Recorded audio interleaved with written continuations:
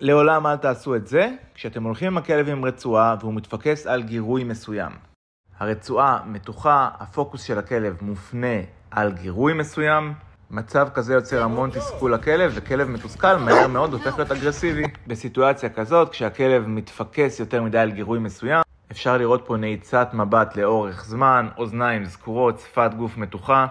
נעיצת מבט מתמשכת, במצב כזה אנחנו רוצים להסיט את תשומת הלב של הכלב לכיוון אחר עם רצועה רפויה.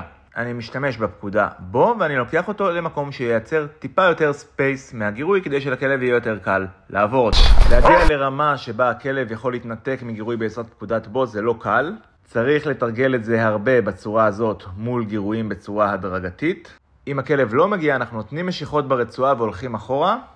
המשיכות נועדו בשביל לסובב את הכלב, אנחנו לא מפסיקים את המשיכות עד שהכלב מסתובב, לאחר מכן הכלב ילמד להסתובב בלי המשיכות, אם אנחנו לא נמשוך ופשוט נמתח את הרצועה ונגרור את הכלב, מה שנעשה ניצור יותר תסכול, יותר נביחות ועלולים ליצור יותר אגרסיה.